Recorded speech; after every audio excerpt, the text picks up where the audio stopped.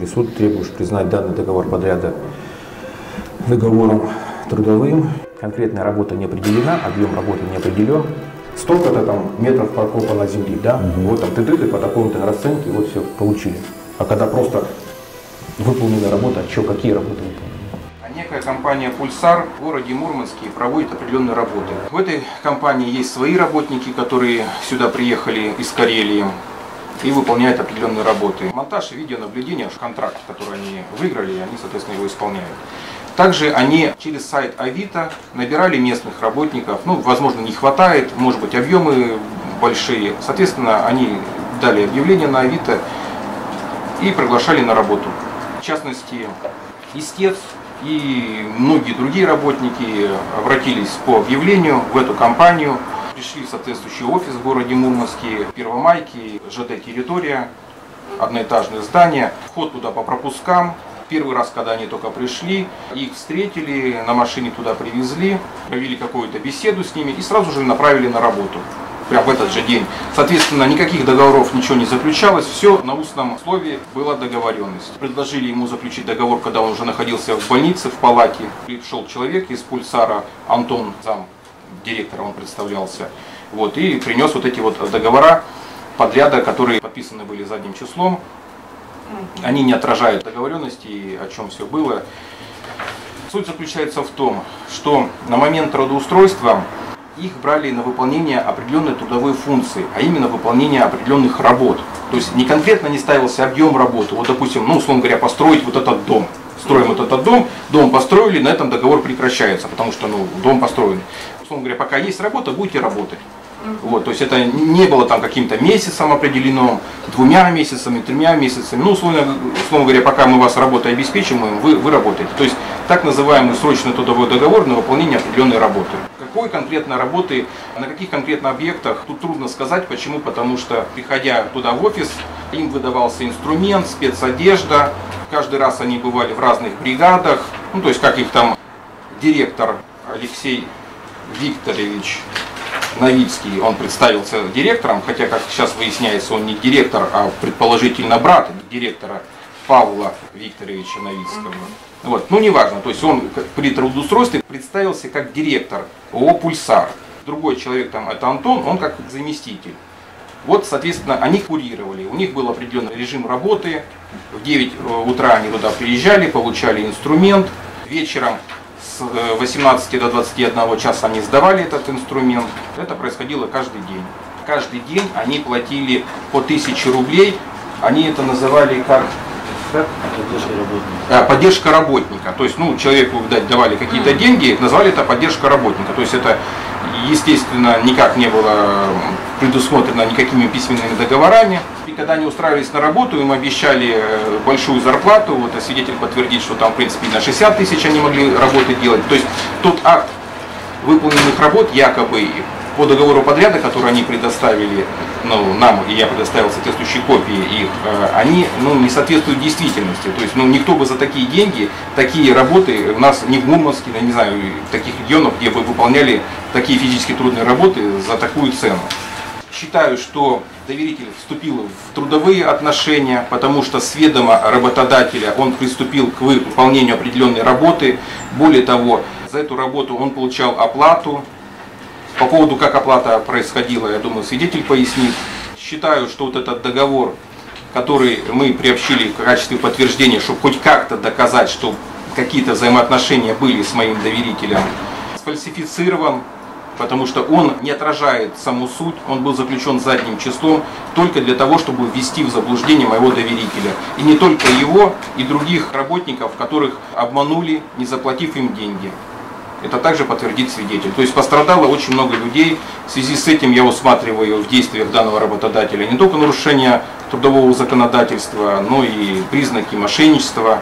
То есть они умышленно набирали людей, они делали работу и их просто, извиняюсь за выражение, кидали и не, не, не выплачивали им деньги. Вот это если очень коротко. По какому факту истец находился на больничном? Потому что вы еще просите оплатить э, больничные листы нетрудоспособности и проверка. А, прикладываете ответ Государственной инспекции труда по Карелии, что проводилась проверка по факту получения травмы на рабочем месте. Поясните поэтому. Тут должна была проводиться проверка, но все мы прекрасно знаем, что формально все-таки относимся к тому, что должен быть в письменном виде трудовой договор.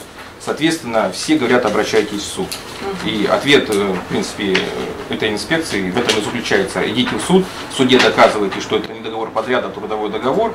И дальше, естественно, если суд установит трудовые отношения, будут соответствующие последствия там, и по налогам, и по больничному оплату, и по вынужденному прогулу и тому подобное. Да, человек находился на работе, он получил травму на, на работе, исполняя свои обязанности, я так понимаю, упал, да? Упал с высоты. Связана работа так или иначе с высотой. Трудовые отношения, они фактически подтверждаются обстоятельствами дела, потому что сведомо работник выполнял работу конкретную, получал оплату, а дальше ответчик должен доказать, что это было договору подряда. И хочу обратить внимание, что у меня есть большое сомнение, что те договора, которые мы подряда, которые принес, при, привнесли в больницу, они были подписаны именно настоящим директором, то есть Павлом Викторовичем Новицким. У меня есть подозрение, что эта подпись все-таки была сделана Александром Викторовичем Новицким.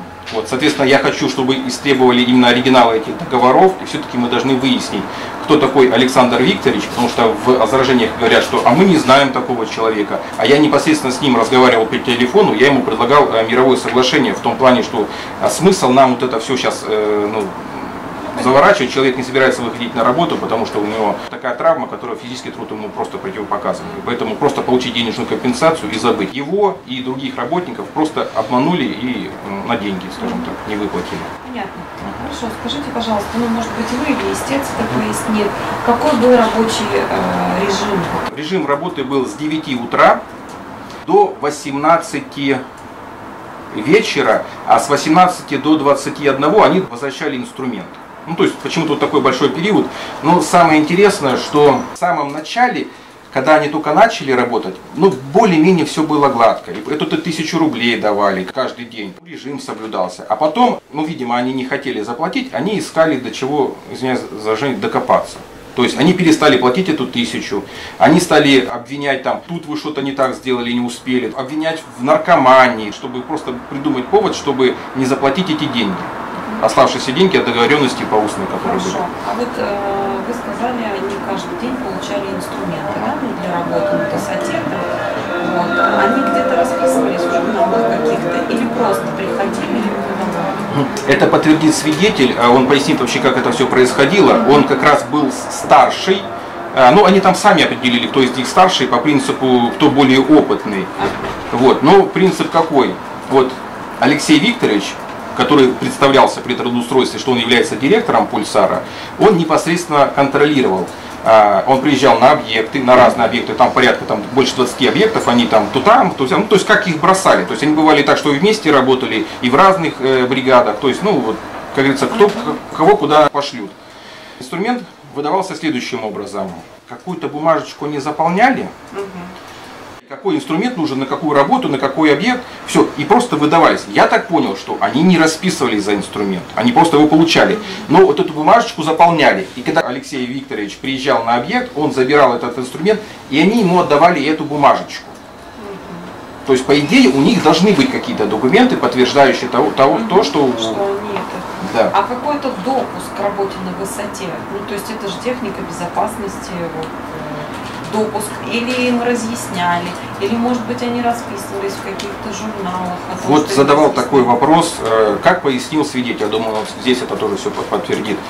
А Он говорит, что нет, никаких журналов, ничего не было, никакие медицинские осмотры не были, никакие инструктажи э, не были. Но говорит, что ну да, приходил, ну вот Алексей Викторович говорит, говорит, делайте что хотите, ну это сейчас не, не дословно, а примерно суть. Делайте что хотите, но только там это ну, головой вниз не прыгайте. Ну вот я это расцениваю как инструктаж.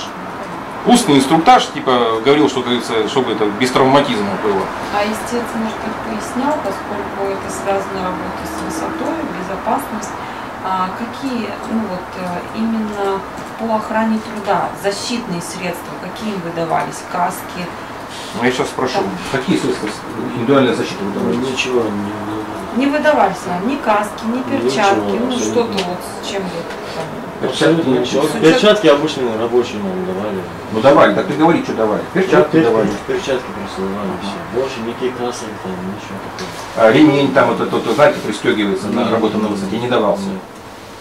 Ну, то есть только перчатки, да? Ну, перчатки только. И я правильно поняла, что они, э, ну, допустим, там, неделю, каждый день могли выполнять разную работу. То Да. есть не вот, например, там, да, там, копаем там, или, или цементом заливаем. Это свидетель пояснит. Ведь эти системы нужно потом дальше и обслуживать. То есть там они занимались от монтажа и настройкой, то есть там ну, настроиваем. То есть ну, они как специалисты, они все-таки специалисты, которые не только монтажные работы делают, ну и разбираются. Я как бы не специалист в этом, ну, видимо, там подключают что-то и запускают Ну, это технику, что там проверить, что на экран, что там э, смотрит в нужную точку, там, ну как-то вот они должны были потом обслуживать. Мгм. Хорошо, я поняла. А и я правильно поняла, что вот по тысячу рублей платили, а основная вот ну, по ГПХ, вот, допустим, Мгм. тот же акт, да, приема передачи, который, копию которого вы а, представляете, вот а, 16, тут 16, 667. Им выплатили или нет? Уважаемый суд, я вообще не понимаю, как вот эти акты, они к чему бьются, не бьются, потому что вот э, согласно платежных документов, которые предоставлены, и Мгм. пояснит свидетель, а вообще моему доверителю бросались деньги на других людей. В частности, вот свидетель, который будет, он говорит, у меня не было карточки, куда переводить. Он написал заявление в бухгалтерию, и бухгалтерия переводила деньги, э, вот эту тысячу рублей каждый день на карточку моего доверителя. То есть даже мой доверитель получал деньги не за свою работу, а оплату других людей. Ну, в частности, я не знаю, может быть, там еще за кого-то, но свидетель конкретно даст показания, что он получал деньги для себя через моего доверителя. А доверитель уже непосредственно ему деньги отдавал. Ну вот такой, предположим, вот возьмем этот акт, да, вот именно такой суммы, как 16 тысяч, 18 тысяч, Нет, не переводилось. Нет. Вот именно вот как там... Ну вот а, если взять, да, допустим, акт приема, вот здесь указано 16 667, здесь указано 18 391. То есть таких денег не переводилось. Нет, свидетель тоже подтвердит, что а, вообще переводились, если то какие-то ну, круглые цифры, Мгм. без вот этих вот э, там хвостиков. Да, то есть, ну, чик и все, вот. Там тысячу, там, допустим, Ага, там. хорошо. Понятно. две тысячи, так, соответственно, на- него и там на доверителя. Ну, так вот. Понятно. Вопросы есть? Да. У меня вопрос вот э, э, к истцу. С какой целью вы вообще связались или с пульсаром, с обществом Я с ограниченной ответственностью? Я просто не вы связывались с пульсаром, а истец, и я хотел бы услышать его мнение. Связались в каком плане? Почему он устроился к вам на работу? Квалификацию свою повысить, да, да. С какой целью? Получить новую специальность, э, труд- трудовую книжку. Вы с какой целью это сделали? Вот увидели на Авито объявление, или друзья вам сказали. Уважаемый суд, я буду отвечать за моего доверителя. Он имеет право вести дело через своего представителя. А вы скажите, вы связывались на предмет устройства на работу с пульсаром? Это у вас второй вопрос? Вам на какой ответить? На первый или на второй? первый. На первый. Давайте я вам отвечу на первый, потом отвечу Вот, на нет, второй. вот на второй. На второй. Представитель ответчика. У нас а, представитель истца. А, если он что-то не будет знать, он обратится к истцу. У нас представитель истца может отвечать на вот, вернее, отвечать на вопросы. Задайте вопрос представителю истца, если он Ну, не для сможет какой цели вы ответить. связались, э, вот, э, вопрос с пульсаром? Поясняю. Значит, э, как я изначально в своих объяснениях сказал, э, мой доверитель обратился по объявлению на Авито. И не только он, многие люди обратились по не поводу слышал, треб- что вы что? трудоустройства для того, чтобы э, получать заработную плату, работать, получать заработную плату. Да, работать. Конечно, да. Сколько он денег заработал? Ну, на данный момент Почему? я Да, сейчас... Подождите, у нас установление факта трудовых отношений. Для чего, сколько он заработал денег? Вопрос снимается судом, да? Не знаете, сколько Вы, от, заработал? вы Я не вдавался объясните, для чего этот вопрос? Сколько просто- он заработал, для чего? Сколько он предполагал заработать и сколько заработал? То есть ваш вопрос, ну, с чем связан тут? Ну, человек с целью заработка устроился, а сколько заработал, не знает. Ну, Я То сейчас есть свои это, видимо, его Нет, в меньшую степень интересовало не в первую очередь. Я понял, вопро- вопрос я снимаю. Вот, вот, я, я, я же слышу. Вы указываете в иске, что получал заработную плату два раза в месяц. По каким дням это происходило? Если вы внимательно слышали, я говорил Я том, есть иск. Пока я же не, я не в курсе вот этих дел. Поймите меня правильно. Я не работал в Мурманске. Я в пульсар появляюсь только по вызову вот этот, когда мне просят дать заключение. Я совершенно не в курсе этих дел. Я опираюсь на ваш иск. я Да. не, не прошу вас оправдываться. Вы задаете вопросы и Да, послушайте. да, да, по каким Да, не перебивайте. Если я начну-. Если я начну разговаривать, то уже перебивать не надо. Хорошо? Значит, отвечая на ваш вопрос, по каким дням, я вам могу сказать, что не знаю, но я вам сказал, что э, каждый день по 1000 рублей. Соответственно, э, как уважаемый суд э, обратил внимание, не имеет вопрос значения, когда была оплачивалась зарплата, в Я каком размере. читаю, А- зачитываю иск, я поэтому, не потому что. Есть должность по выплатам какая-нибудь у пульсара перед истцом? Я считаю, что есть, потому Есть что какая? Потому что та договоренность, которая э, была, она не выполнена в отношении большого количества работников, Какая в том сумма? числе и моего доверителя. Ну давайте про доверителя. Но сейчас это какая не сумма? является предметом нашего, наших требований. Не можете. Мы просим в это э, оплату последнему произвести вынужденного прогула и больничного. Вы указываете, что в иске, я, я ведь только исковые, вот знаю требования, и все, я поэтому задаю вопрос. Потому что я не готов вот Да полноценному этого, я понимаю разбирательству. Да, и когда вы Подождите, говорите, представитель ответчика, что значит я не готов к полноценному разбирательству? Во-первых, у нас было предварительное заседание, а, к сожалению, в него никто не пришел. У нас предварительное заседание для этого и проводится, для того, чтобы уточнять, запрашивать документы. Вы к предварительному заседанию, получив повестку, пульсар, я не конкретно говорю Ну сейчас да. про вас, представители, а про пульсар, не представили ни одного документа, а представили только, только сегодня нам поступил ваш отзыв. Только сегодня. Вот я даже как судья с ним ознакомиться смогла сегодня с утра. это я признаю. Мало того, вы нам до сих пор не представили все запрашиваемые судом документы. Вы представили только платежные документы на тысячу-две тысячи рублей, а у вас были запрошены и договора подряда, и штатное расписание, и все-все-все. Вот, понимаете, вот определение о принятии получаем, вот здесь вот в определении о принятии целый список перечней. Так, когда у меня, с вашего позволения, э, еще один вопрос. Вот вы указываете в иске, что истец получал деньги в период нетрудоспособности. А сколько он денег-то получил и кто ему платил? Все я не смог найти данных. Уважаемый уважаемый представитель ответчика, э, какие-то суммы перечислялись, потому что мой доверитель обращался к так называемому директору и письменно в переписке, и по телефону звонил, и просил его выплатить деньги, потому что он находился в крайне для себя невыгодном положении, то есть он, условно говоря, не заработал, плюс причин- был причинен вред ему здоровью. И поэтому он просил хоть какие-то деньги перечислить. Соответственно, какие-то деньги перечислялись. Я не могу сейчас вам конкретно сказать, какие деньги. Если они перечислялись, то я думаю, бухгалтерия сможет вам ответить на этот вопрос лучше, чем я. Бухгалтерия ответила, никаких не было перечислений, я поэтому вас и Ну, спрашиваю. значит, никаких не было. Нет, вы Значит, это были ли- личные какие-то денежные средства человека, который, не знаю, там по каким-то своим соображениям решил перечислить эти деньги. А, какие Нет деньги? организации. А кто? Вы тоже не знаете. Ну, Я предполагаю, что Алексей Викторович. Ну, с ним же была, была переписка. Правильно? Да. У нас есть переписка, если потребуется, мы в суд ее предоставим. Где человек выражает просьбу, где как бы что ему отвечают, где там в бухгалтерию его посылают, где в итоге ему переводят. Уже каким образом переводят? Просто на карточку, минуя э, бухгалтерию организации. То есть это уже тонкости, понимаете? Спасибо, что как бы вошли в положение, какую-то денежку ему кинули на лекарства и тому подобное. Потому Ну что, какую неизвестно, да? ну я сейчас не готов вам сказать на эту тему, потому что Ну предмет все, я вот, это, то- то- я вот это хотел уточнить, уважаемый суд, э, в части задавания вопросов. Уважаемый суд, а, я приношу извинения за несвоевременность э, реакции Пульсара, да, как представитель. Я отвечаю за его действия. И те требования суда, которые изложены по результатам предварительного судебного заседания, будут исполнены в полном объеме, так как это предусмотрено в порядке закона. Но я хочу обратить внимание, что, э, конечно, мы не знаем самого предмета иска, да, потому что он не определен, не, не знаем совершенно. Нам ничего не известно ни о каких мировых переговорах.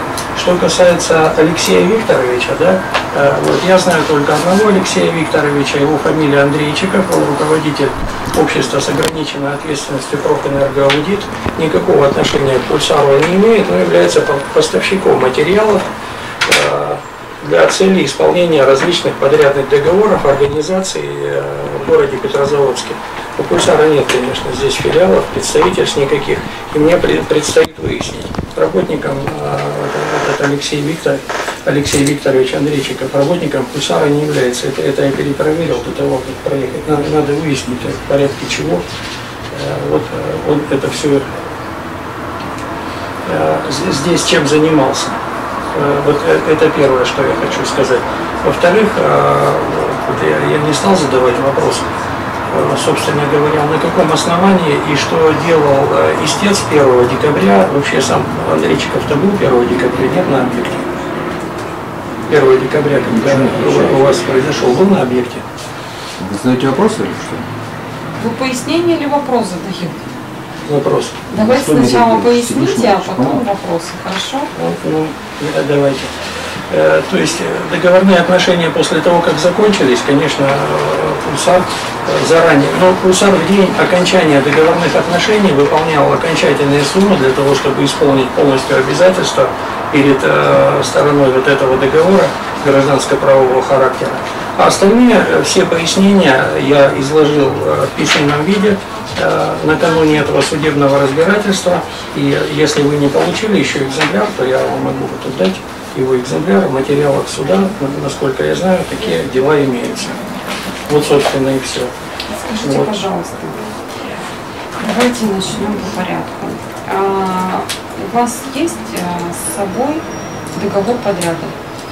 Поскольку ну, истцом представлена фотокопия, и ну, некоторые тут плохо можно разобрать, есть с собой Нет, экземпляра с собой нет, к сожалению.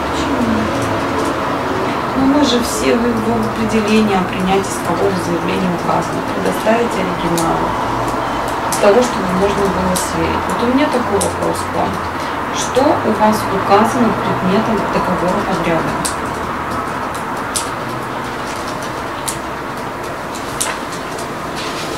Выполнение работ по прокладке кабельной линии видеонаблюдения на линейных и стационарных сооружениях связи. Связи в городе Мурманске. В городе? Мурманске, да. Правильно. Работа выполняется подрядчиком, сроки у вас указаны с 1 августа по 31 августа. Августа, да. Месяц, да? Да. 30 а, дней. Далее, какие у вас условия продления действия этого договора? Никаких, потому что э, вот эти вот работы обусловлены какой необходимостью?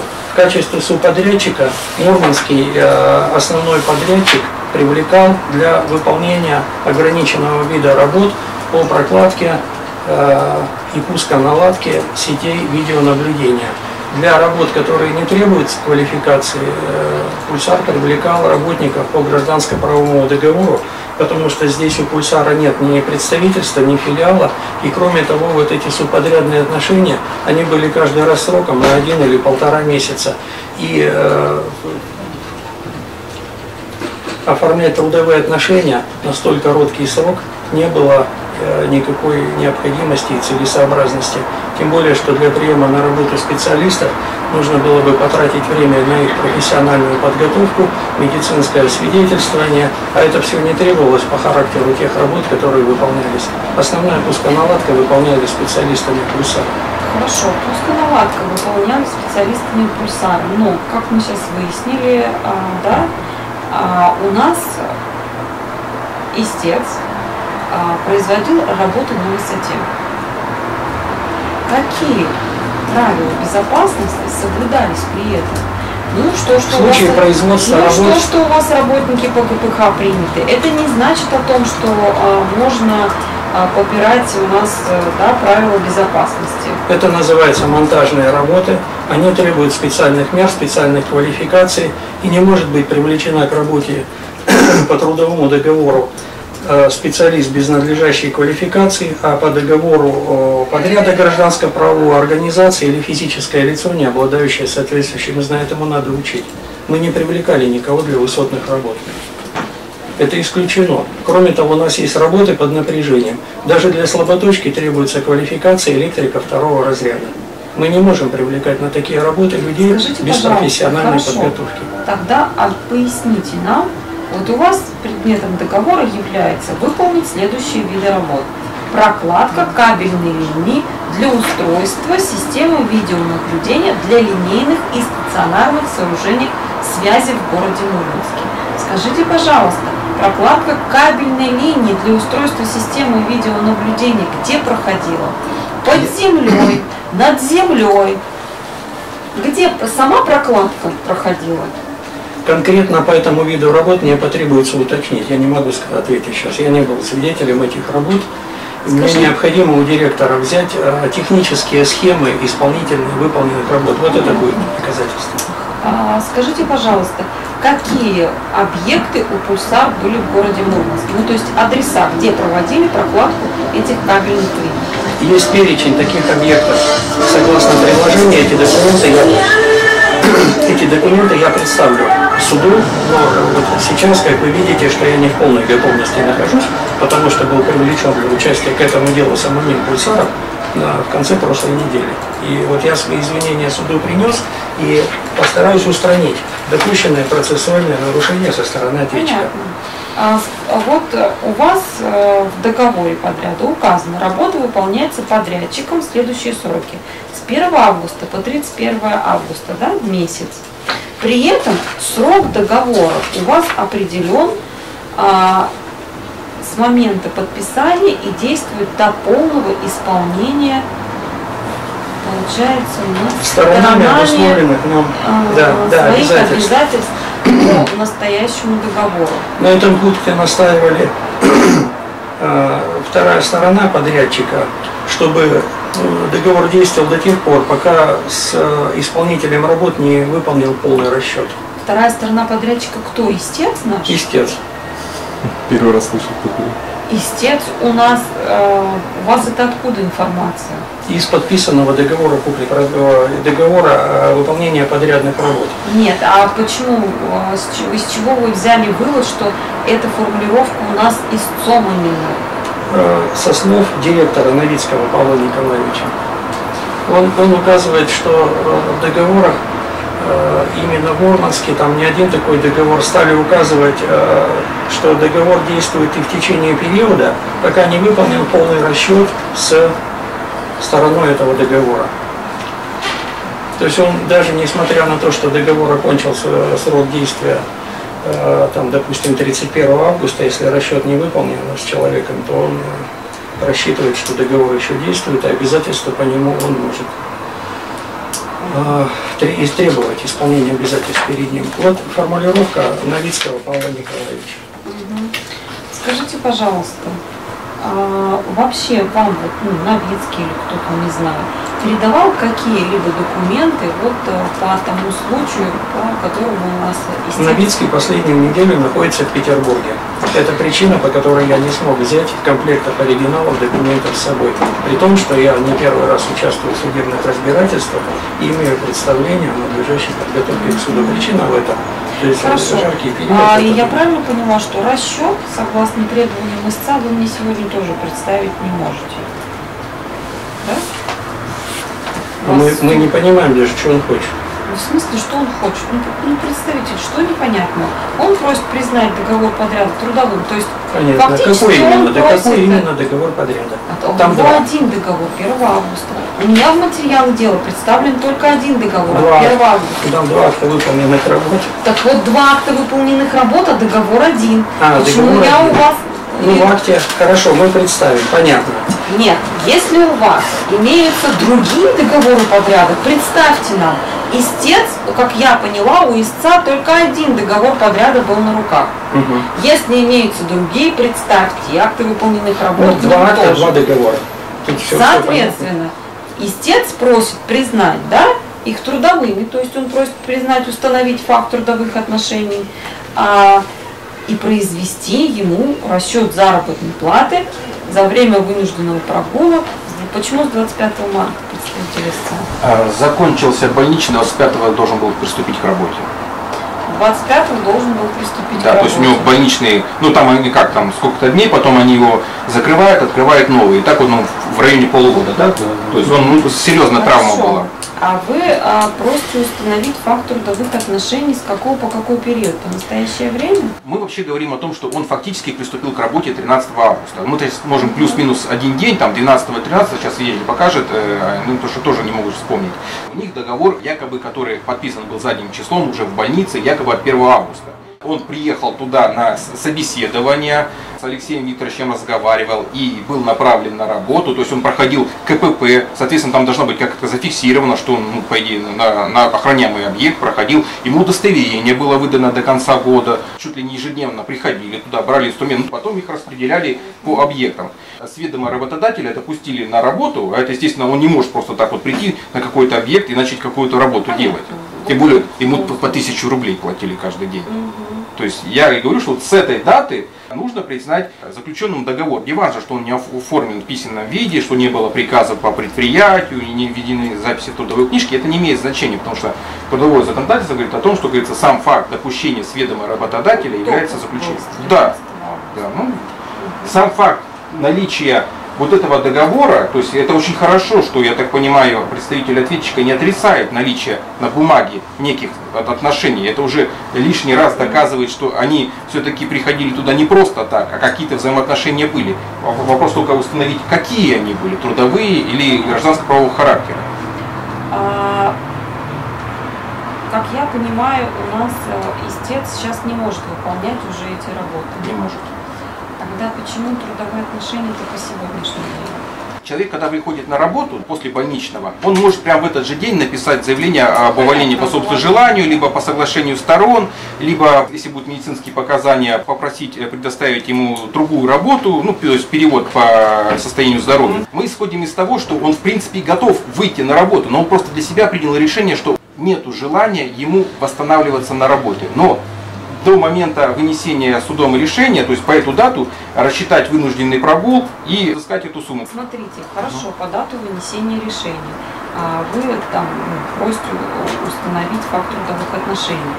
Но факт трудовых отношений а, мы можем установить да, до того момента, как он фактически осуществлял свою трудовую. Ну, туда больничный входит, это понятно, да?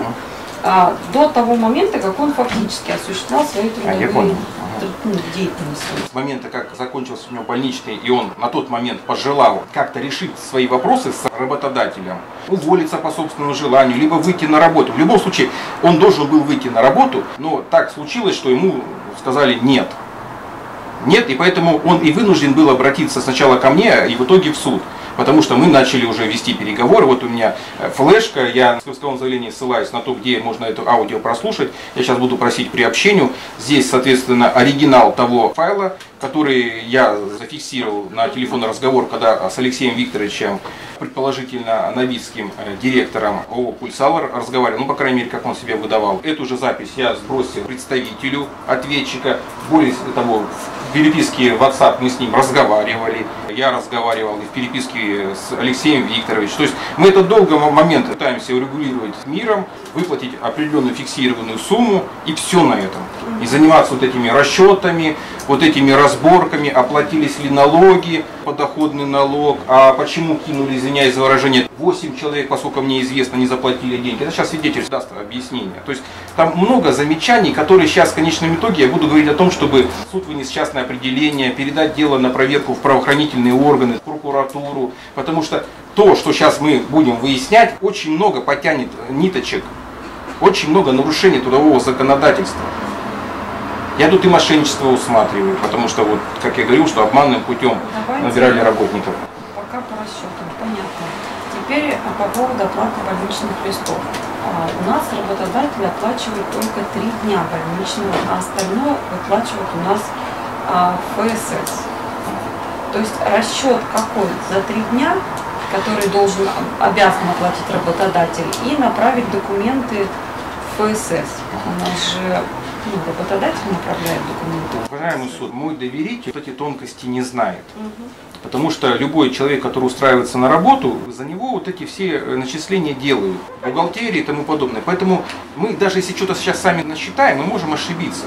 Поэтому мы... Нет, я нисколько не говорю, что вы Да, должны да. считать. Я имею в виду, что разъясняю, что оплата у нас идет э, да, по закону три дня работодатель, остальное ФСС.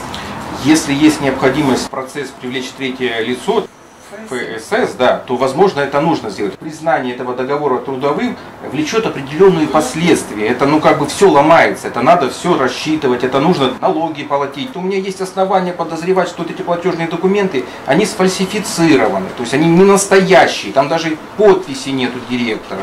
Это ксерокопия, не заверено. Что это такое?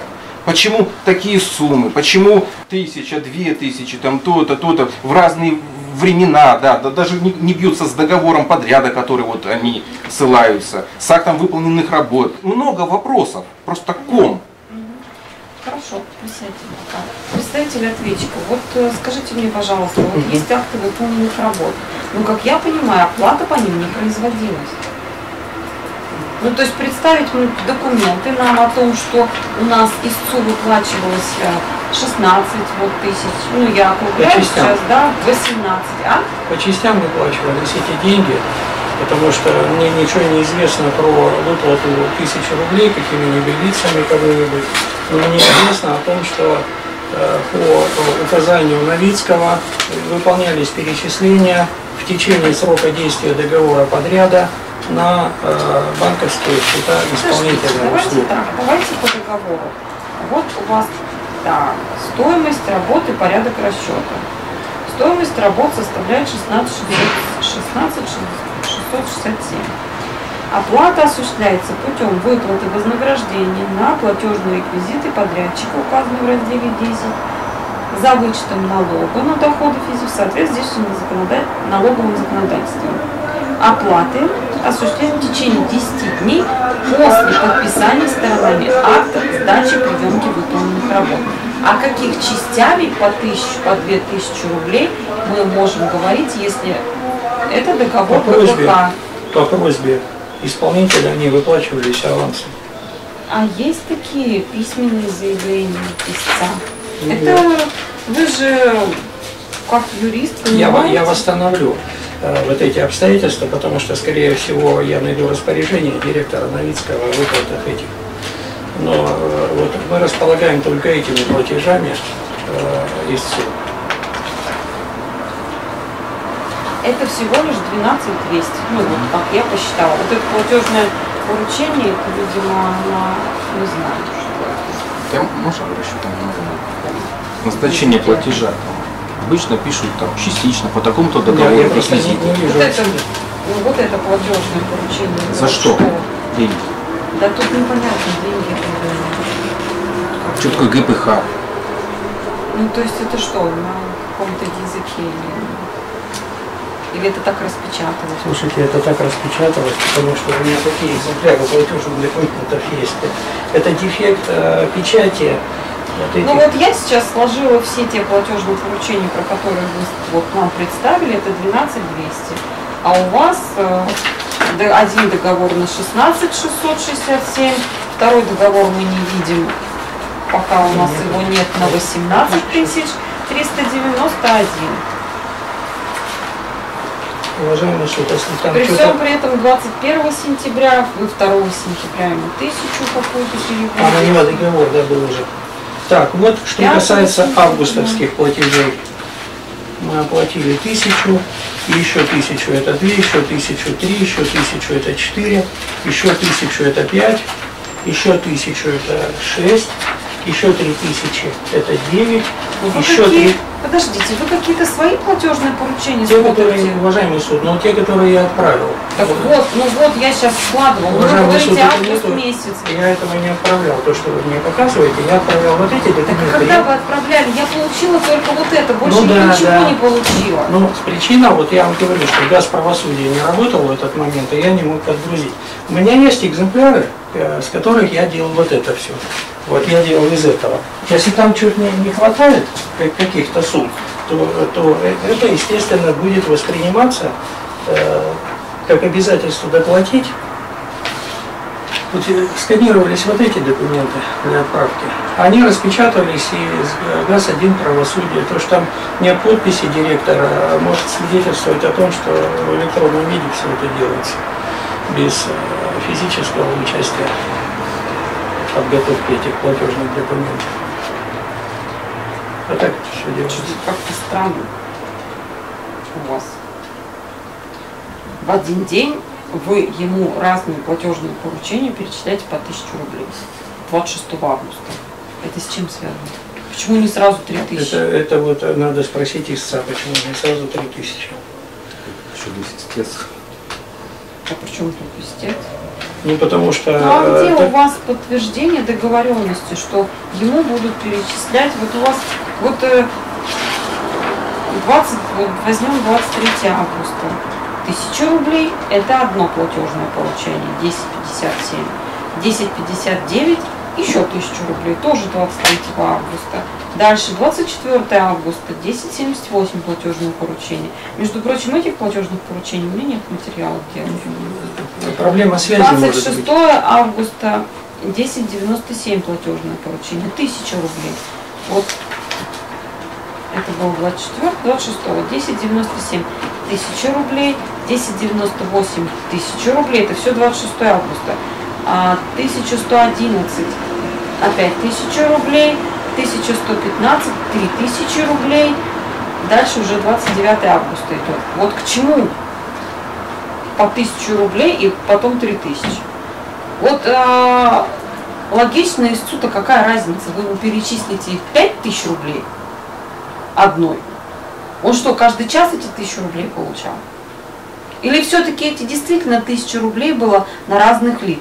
Нет, Но если это счет. разные лица, то мы готовы рассмотреть эти все, э, как- как сказать, об- обстоятельства. Пока я, я, э, сам лично вот в этих производстве этих работ не участвовал. Но сам истец утверждает, что получал каждый день по 1000 рублей. Вот и, э, я я не думаю, что, что э, э, как он мог получать? Затребовать и, и э, получить на карту. Про наличные расчеты мне ничего не известно, к сожалению, вот не могу сказать. А про такого рода перечисления, вот я, я могу сказать, это все, что есть, а итоговый, в соответствии с определением суда, конечно, все будет сделано. На- по этому счету я объяснение дал и э, подтверждаю свое обязательство. Вот, вот в чем дело. Могло быть. Я повторно отправлю, уважаемый суд, э, и э, если необходимо, привезу, подлинников не бывает в электронном документообороте, но заверенные э, подписью и печатью директора. Еще раз, э, значит, э, оборудование, ну не оборудование, а инструменты. Каким образом выдавались истцу? ИСТУ никаких инструментов не выдавалось. А чем он работал? Просто руками, что он кабель просто держал? Не могу Ну что, сказать, вот- не, не присутствовал. Спрошу у технического отдела. Что Есть- значит, вот вы все время нам так говорите, не присутствовал, да? У нас с вами прокладка кабельной линии для устройства, да, системы Держал кабель. в перчатках. То есть в вашем понимании прокладка кабельных линий а, это у нас работа держание кабеля в перчатках. Из этого состояла работа истца. Вам так директор пояснил? Директор пояснил, что э, человек без специальности не мог направляться на работы, которые требуют специальной квалификации. Если Не он- мог и не выполнял. Это разные вещи. Не мог быть привлечен без специальности, но выполнял. Это тоже разные вещи. если он это Просто, выполнял по указанию, он То есть э, истца наняли просто подержать кабель. Истца наняли для того, чтобы он выполнял работу по прокладке вот этих вот э, Что сетей. входит в это, в это, в вашем понимании, что входит а, вид работ, какой входит в прокладку кабельных линий? Вид работ. Какой? Копать надо, наверх поднимать надо. Уточню, не буду фантазировать, не являюсь специалистом в области прокладки. Присаживайтесь. Что за свидетель? А, Вопрос, да. Скажите, пожалуйста, правильно я вас понимаю, наличие договора вы признаете? Сейчас я не говорю про договор подряда, то есть каких-то договорных отношений вы признаете, правильно? Да. Скажите, пожалуйста, тогда вот в рамках этого договора, с которым вы ознакомились, согласно предмету, какие конкретно объемы должен был выполнить мой доверитель? Сколько он должен был поддержать, в каком месте? За что деньги платили? В рамках заключенного договора подряда, э, договора субподряда краткосрочного, выполнение работы, э, связанной с э, прокладкой кабельной линии. А что конкретно технически, между каким точкой и какой точкой, я уточню. Правильно вас понимаю, что договором не предусмотрен именно объем. Предусмотрим начало и окончание. Начало и окончание это начало и окончание. Я спрашиваю про объем. Вот в этот период времени, который вы сказали, начало и окончание, какую конкретно работу он должен был построить? Ну, условно говоря, построить дом. Нет, дом не должен был построить. Я образно говорю, я поэтому спрашиваю, Ну, конкретно. конкретно, в каком Я, объеме? я не могу понять вопроса, поэтому не могу на него Чего, ответить. подождите, представитель ответчика, что непонятно, я у вас это тоже уточняла. Конкретно, ну вот вы нам сказали, держать кабель, и что, это тот объем работ, который должен был выполнить у нас истец? Конкретно, какие работы он должен был выполнить по этому договору подряда? Есть техническая карта устройства линии э, связи между двумя объектами. Вот. В нее входит набор определенных действий, которые необходимы для обеспечения, чтобы вот эта вот субподрядная обязанность была исполнена. В рамках этой субподрядной обязанности нанимались исполнители по гражданско-правовым договорам для того, чтобы она была Так исполнена. исполнители Ну что вот, делали? Исполнители держали кабель, разматывали этот кабель по земле, оставляли на месте, переносили этот кабель с места на место. Но я, я сейчас должен фантазировать, и я бы не хотел этого делать. Вот суд задает мне вопросы Ну на предмет тех обстоятельств, которые я не мог знать заранее, потому что вопросы же сейчас только эти ставятся. Поэтому я не присутствовал при производстве работ. договора такой. Вот, и это все уточнится. Вот. Я, я выясню это из технологической карты. Там есть виды работ, которые не требуют квалификации, не связаны с опасностью для жизни и здоровья исполнителя этих работ. И именно эти работы поручались по гражданским э, правовым договорам. Потому что в противном случае э, мы привлекали специалистов, которые имеют квалификацию, имеют допуски. Но во всяком случае два, они как минимум нужны электромонтажный допуск, да, допуск для работы с э, напряжением и допуск для работы на высоте, если прокладка кабелей происходит на высоте более двух метров. Уважаемый суд, можно я все-таки поясню для, для суда, для представителя ответчика? Я не спрашиваю технологический процесс. Я спрашиваю, в каком количестве. Новицкий давал все эти распоряжения. э, э, Мы я- сейчас не говорим Да. про распоряжение, мы говорим про договор. В нем должен быть определен объем работы, за который определена стоимость. Ну, условно говоря, метр прокопал, стоит столько-то рублей. Вот это определенность, понимаете? А если трудовая функция, копать отсюда и до конца э, рабочего дня, это трудовая функция, это не договор подряда, это трудовой договор. Мы можем его называть как угодно. Я поэтому вас и спрашиваю, где конкретно в договоре определен объем, за которую Нет, ему договор у меня текст, тот, который только есть, другого договора у меня нет. Если вы этот договор читали, то ваш вопрос риторический. Где в договоре? Естественно, да. Я поэтому Ну, хотел от вас услышать, что этого не предусмотрено. Да, хотел бы обратить внимание, что в договоре не предусмотрен именно объем выполняемой работы, что и однозначно свидетельствует, что это не договор подряда.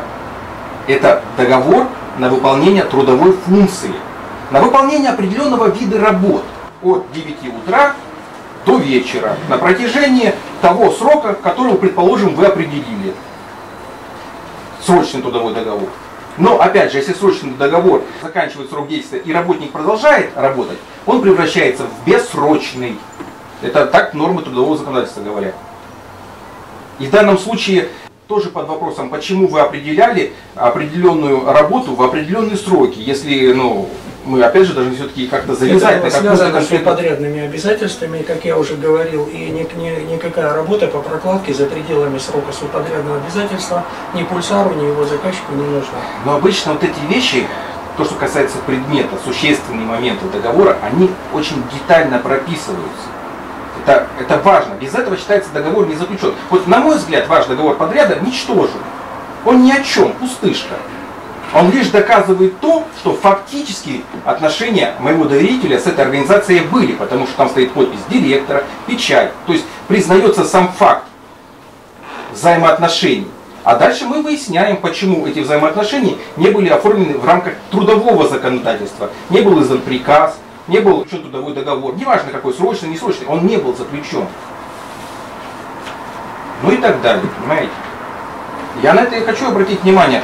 Это прекрасно, что вы в суде подтвердили наличие этого ничтожного договора подряда, который вы называете. Не, ну вы же говорите, он не совсем, в некоторой части он не ничтожен, как я понял. Нет, ну он по предмету ничтожен. Мы сейчас выясняем, что мы не можем определить объем работы по этому договору. Скажите, пожалуйста, вот по договору подряда, а, у вас определенный, ну, там, допустим, месяц, да? Ну, месяц это выполнение подрядчиком работы. 31 по 31 августа. А какой график работы был у истца? Ну, то есть что он? Ну, свободный какой? То есть он мог прийти к 10 вечера, работать ночью. Так и было. Тогда, что так и было. было. Один, один пришел в 10 вечера и держал кабель. Ну что, разматывал кабель. Ну, бригада же у вас работала какое-то время определенное, с 9 там, до 10. Если вы, как нам поясняете, его, ну, я сейчас утрирую, ну, его, как вы нам пояснили, брали, чтобы держать кабель. Так он что, ночью в 10 вечера сам придет держать кабель или все-таки был какое-то рабочий, а, рабочее время, в, в течение которого выполнялась эта работа? Нет, в договоре отсутствуют эти условия, фактически они не исполнились.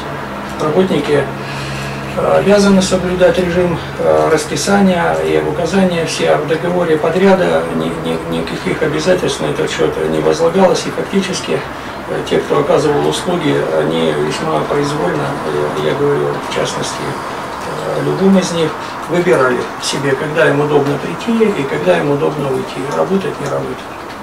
И это одна из причин, по которой э, сотрудничество вот, э, не могло продолжаться вечно.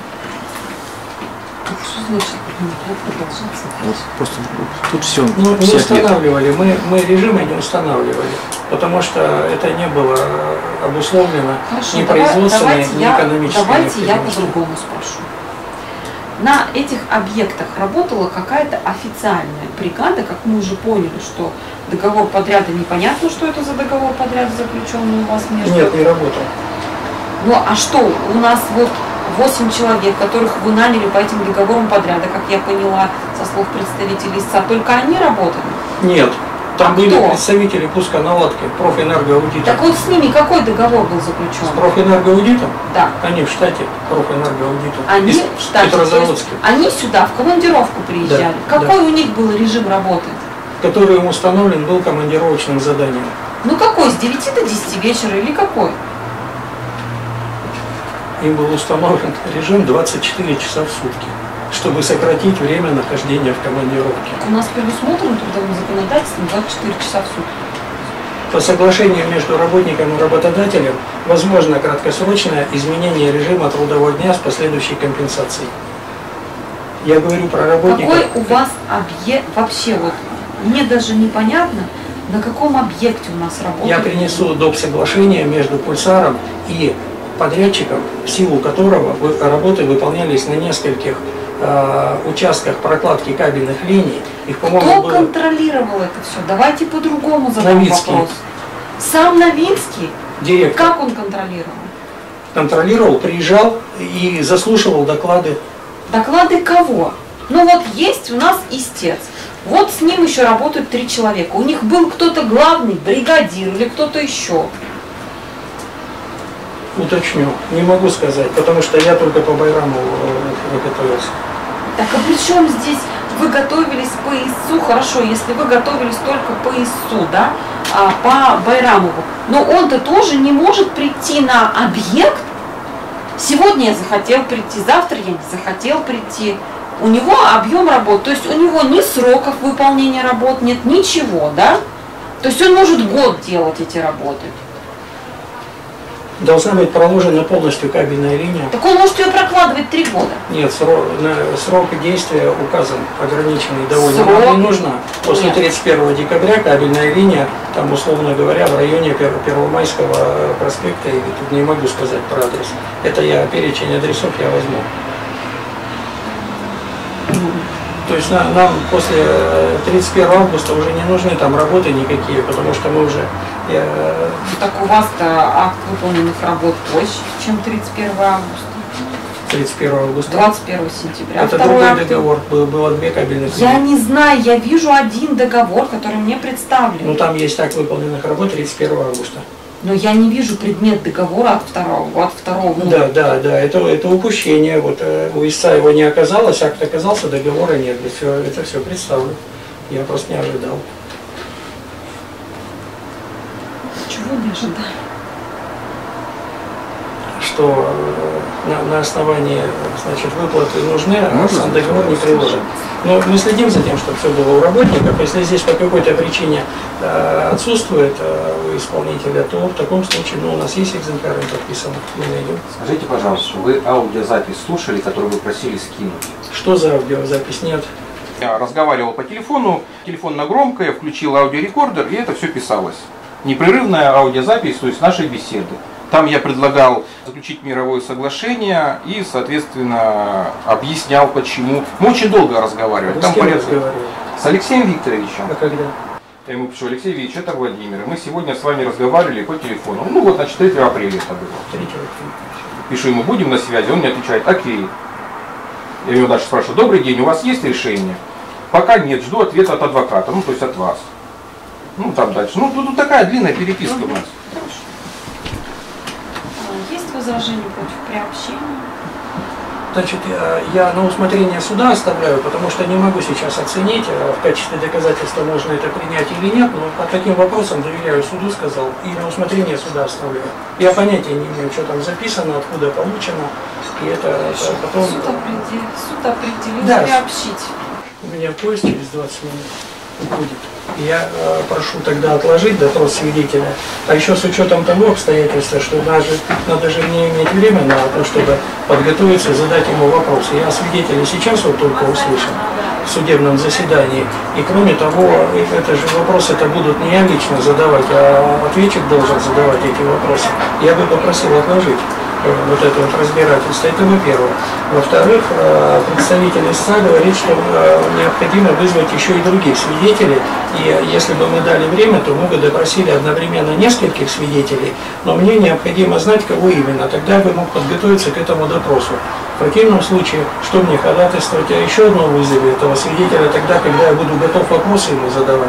Вопрос это задает Петрозаводский пульсар, а не представитель Мурманского. И при тех обстоятельствах, которые сейчас суд э, установил, Хорошо, и в том числе упрек-то я принимаю. хорошо. Кого-нибудь из присутствующих знаете? Встаньте посередине. Кого-нибудь из Да. присутствующих знаете? Знаю Галдуна. А? Галдуна Байрамова. Откуда знаете?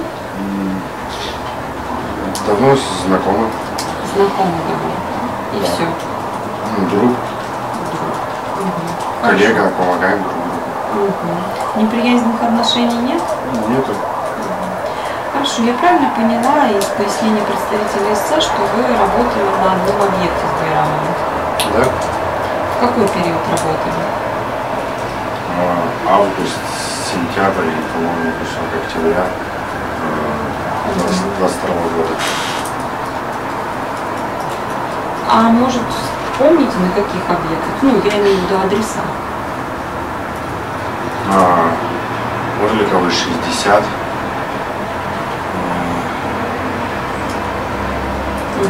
Польский 84, по-моему.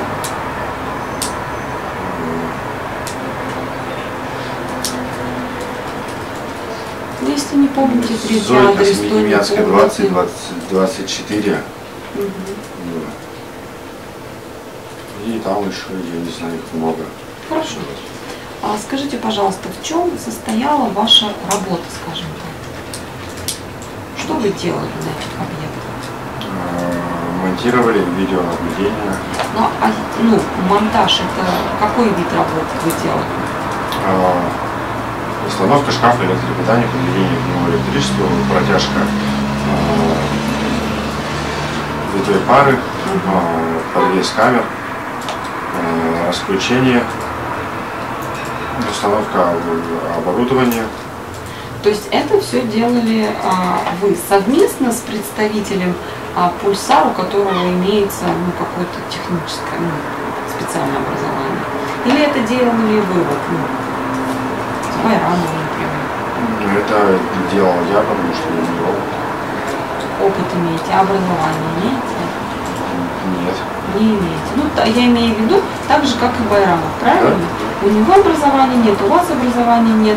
Ну, я так понимаю, вы не вдвоем работали же, там еще группа была, да, Да. с, с кем вы работали. Соответственно, вы выполняли весь объем этих работ, вот которые вы нам сейчас перечислили. Да. Весь объем работ, да? Да, я еще- занимался пусконаладкой. Пусконаладка. А, скажите, пожалуйста, ну вот вы сказали, как я поняла, камеры, да? Ну, простым языком вешали камеры. А, это происходило ну, на высоте или Да. А, Над подъездной камерой должны были быть установлены на высоте не менее 4 метров от земли. На столбах камеры должны были устанавливаться а, 6 метров над землей и, соответственно, на крыше, с крыши дома.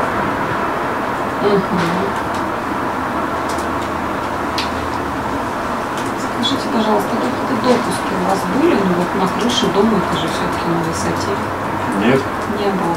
А какие-то вам а, разъясняли технику безопасности? Э, Да, разъясняли, типа, а, пожалуйста, аккура- аккуратнее смотрите, не упадите с крыши. Все. Все. А какое-то ну, орудие труда, ну это я так уже грубо скажу, да, сейчас орудие труда, ну, как-то выдавали вам инструменты, да. инструменты? да? Да. выдавали. А выдавали каждый день или нет? Или вот, например, вы приехали, вам выдали, ну, пришли на объект, вам выдали, например, вы на объекте там неделю работаете, и вы вот неделю с этими инструментами. Или каждый день вам выдавали? А, Иногда получалось каждый день, иногда бывало, что мы до следующего дня оставляли э, на э, чердаке домов. Вот расскажите распорядок вашего дня. А, В 9 мы собирались на базе. Так, база это где? Это какое-то определенное одно место или именно объект, где вы работу выполняли? Это определенное место, типа офис, склад. Это где он находился? Рядом с мостом, я не скажу вам адрес, Ко- ну, с Кольским мостом? с Кольским мостом, Кольским мостом. Это в Первомайском районе. в Первомайском районе. Мгм. Прибрежная, Ну, на, ни- на, 11, 13, на 9. нижней дороге, да, там? Да, Мгм. там светофор находится, если за ним с горки спуститься, как раз будет вот это вот здание. Мгм. Так. Хорошо, вы собирались там на базе, да? У вас был бригадир какой-то или Нет. нет? Во скольки вы на этой базе собирались? К 9 часам. К 9 часам. А кто это установил, что вот в 9.00 вы должны быть на базе? Там Алексей Викторович, звали. А вот когда вы заключали договор подряда, оговаривалось с вами, со скольки до скольки вы будете работать? Э, Ну, устно. Оговаривалось со скольки, а до скольки не оговаривалось. Оговаривалось со скольки? М? Оговаривалось со скольки. Оговаривалось. Со скольки? С 9 утра, С да? 9 утра, да. Так. Хорошо, ну не оговаривались. Вот вы на базе собрались, вам там выдали инструменты, да? Мы Или сами нет? брали. Сами брали. Да. То есть там какой-то склад, где хранятся эти инструменты. Да, сами вписывали, что брали. Вписывали куда? В листочек. Ну, Я не знаю, я не знаю, где нет, просто листочек, карточка. Карточка, и куда вы ее отдавали или ложили? Мы ее брали с собой до тех пор, пока не выполним объект. Так. выполнили объект, а отдавали Антону. Кто такой Антон? Не знаю, кто он в должности. Ну, Сказали отдавать Антону, отдавали Антону. Ну, он с вами каждый день на базе был, вот куда Да. вы приходили? Да. А на объекты он с вами ездил или нет? Иногда да. Иногда да. А, хорошо, а вот, скажем, у вас нештатная ситуация какая-то произошла. Как? Вам сказали, к кому обращаться? Нам не говорили. Не говорили? Ну, например, какой-то инструмент отсутствует, от- ну, вот отсутствует какой-то инструмент, который вам необходим для производства работы. Э, Звонить Алексею Викторовичу, писать в группу, я не помню, в WhatsApp или в Телеграме, в мессенджере. В каком-то группа была. Вот, э, скидывать в группу, нам довозили либо Антон, либо Алексей Викторович. Хорошо. Расскажите нам об обстоятельствах заключения этого договора. То есть, когда он был, вот, ну, например, с вами заключен? Э, 12 или 13 августа в устной форме, Так. А письменно, когда вы его подписали? а письменно я не подписывал, вообще его глаза не видел. Вы вообще не подписывали? Нет. Никак. А, хорошо, а может быть вам рассказывал, ну, поскольку у вас дружеские отношения с Байрамовым, может быть он вам рассказывал, а, при каких обстоятельствах им был подписан этот договор? Э, Да, когда он ногу сломал, Так. вот, он за- за- попросил договор, чтобы видеть его на руках. И После этого был заключен договор. Хорошо. А оплату как вам производили? А оплату нам производили на карточку. Я так и не понял, по какому расчету. Акт приема переда, акт выполненных работ тоже не подписывали? Нет, Не я не подписывал. Ну а вот вы выполнили а, работу на объекте, и дальше что? Вам просто говорили, все, вы свободны? А, Я имею в виду полностью. Вот, э, а, Нам оплачивали какую-то часть, так. вот, а остальное обещали оплатить э, в конце этапов. Ага. Так и не платили по факту. Когда вы устраивались на работу, да, ну, приходили, вот э, какую сумму оговаривали? А, Сумму не оговаривали, мне прислали прайс э, за метраж э, прокладки кабеля, за установку камеры, установку шкафа. Ага. То есть какой-то прайс был, да? Да. И вернее, ну, наверное, сейчас он есть этот прайс, сколько стоит работа. Да. Так, хорошо. И по этому прайсу, э, ну, то есть, грубо говоря, да, составлялся акт, наверное, или как?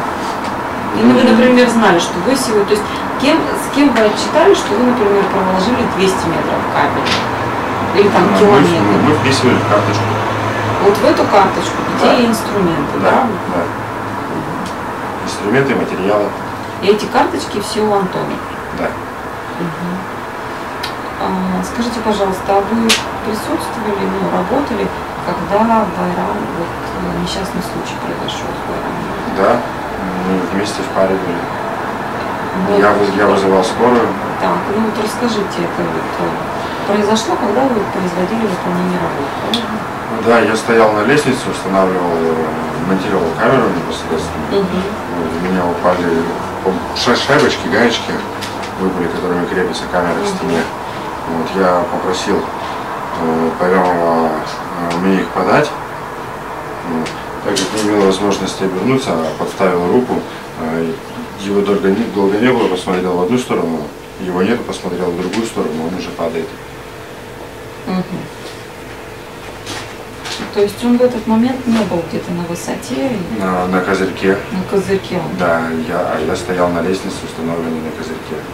Ага, на лестнице. Хорошо, вызвали скорую. Сообщили кому-то, что вот такое произошло с работником? Э, Да, сообщил Алексею Викторовичу. Он что сказал?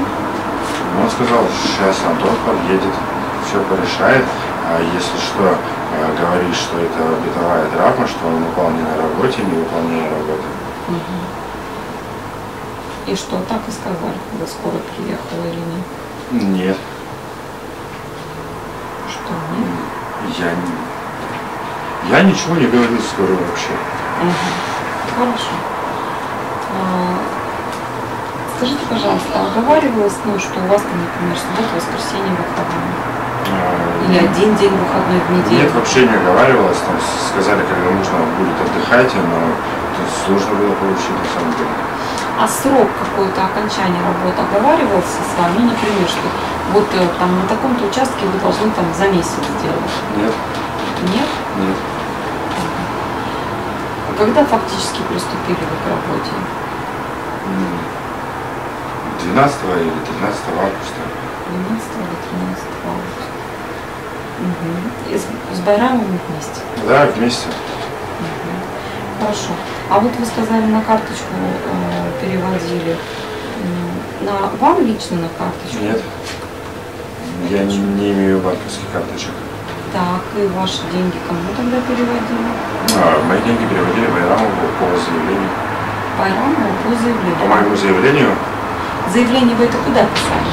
а, в бухгалтерию В бухгалтерию Пульсар. А вы Да. это кому-то на руки отдавали или в, а, в электронном виде. Я от руки написал, а, фотографировал и отправил. в электронном виде? Да. А бумага этот, э, рукописную версию называл Алексей Викторович. Хорошо, скажите, пожалуйста, а переводы, вот, ну, договоренность вот какая была, что вам по тысячу рублей в день переводить будут или... А сначала у нас было много договоренностей вообще. Ага. Сначала была договоренность, что а, нам оплачивают э, 90%, а потом 90% по окончанию объекта, а оставшиеся 10% со всех объектов нам выплачивают а, по окончанию этапа. Мгм. Потом нам сказали, что мы слишком много хотим, а, вот, и не получается у них так делать. А, нам начали оплачивать по 1000 рублей в день, а, как нам сказали, это а, на поддержание работника, поддержка работника.